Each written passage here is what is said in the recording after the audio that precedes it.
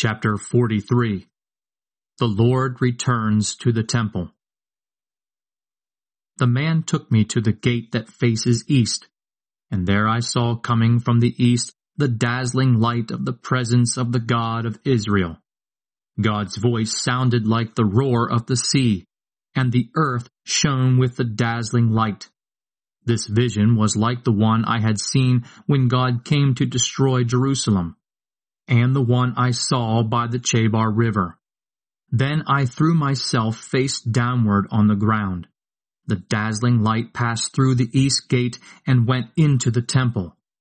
The Lord's Spirit lifted me up and took me into the inner courtyard, where I saw that the temple was filled with the glory of the Lord.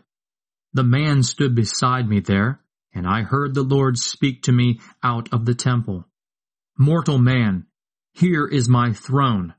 I will live here among the people of Israel and rule them forever. Neither the people of Israel nor their kings will ever again disgrace my holy name by worshiping other gods or by burying the corpses of their dead kings. The kings built the door sills and doorposts of their palace right against the door sills and doorposts of my temple, so that there was only a wall between us. They disgraced my holy name by all the disgusting things they did, and so in my anger I destroyed them. Now they must stop worshipping other gods and remove the corpses of their kings. If they do, I will live among them forever. And the Lord continued, Mortal man, tell the people of Israel about the temple, and let them study its plan. Make them ashamed of their sinful actions. Then, if they are ashamed of what they have done, explain the plan of the temple to them, its design, its entrances and exits, its shape, the arrangement of everything, and all its rules and regulations. Write all this down for them so that they can see how everything is arranged and can carry out all the rules. This is the law of the temple.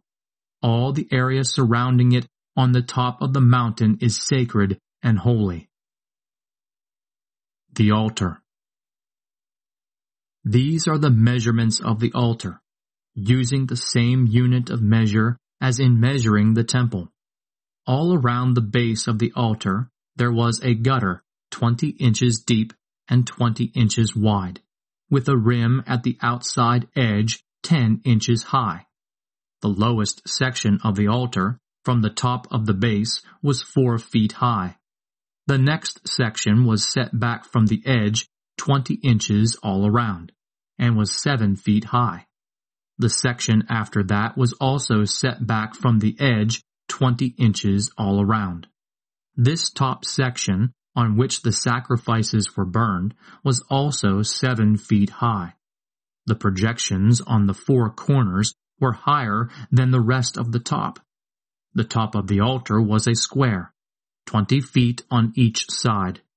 The middle section was also a square, twenty-four feet on each side, with a rim at the outside edge ten inches high.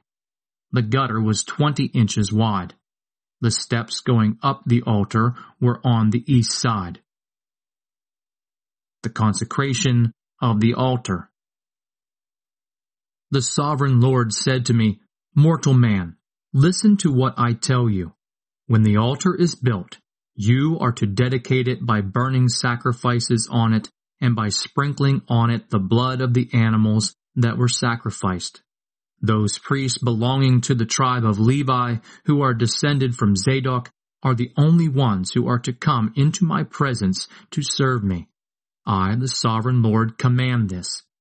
You will give them a young bull to offer as a sacrifice for sin. You are to take some of its blood and put it on the projections on the top corners of the altar, on the corners of the middle section of the altar, and all around its edges. In this way you will purify the altar and consecrate it. You are to take the bull that is offered as a sacrifice for sin and burn it at the specified place outside the temple area. The next day, you are to take a male goat without any defects and offer it as a sacrifice for sin. Purify the altar with its blood, the same way you did with the bull. When you have finished doing that, take a young bull and a young ram, both of them without any defects, and bring them to me. The priests will sprinkle salt on them and burn them as an offering to me. Each day for seven days you are to offer a goat, a bull, and a ram as sacrifices for sin. All of them must be without any defects. For seven days the priests are to consecrate the altar and make it ready for use. When the week is over, the priests are to begin offering on the altar the burnt offerings and the fellowship offerings of the people. Then I will be pleased with all of you. I, the sovereign Lord, have spoken.